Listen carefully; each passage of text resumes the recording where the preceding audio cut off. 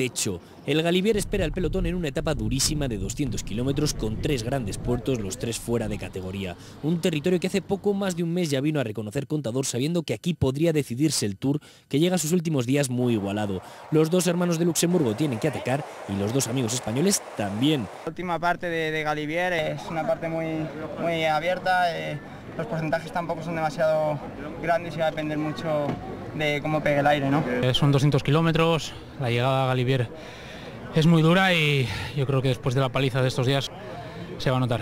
Dani Navarro, el escolta de Contador, también avisa. Vamos a intentar ganar el Tour y, para ello vamos a tener que trabajar y, nada, a ver qué pasa, a ver si solucionamos esto.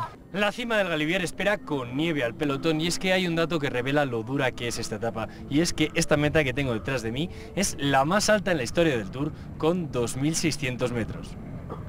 Cientos de caravanas han hecho noche aquí para no perderse el espectáculo en un día en el que el Tour celebra que se cumplen 100 años de la primera vez que el pelotón pasó por aquí.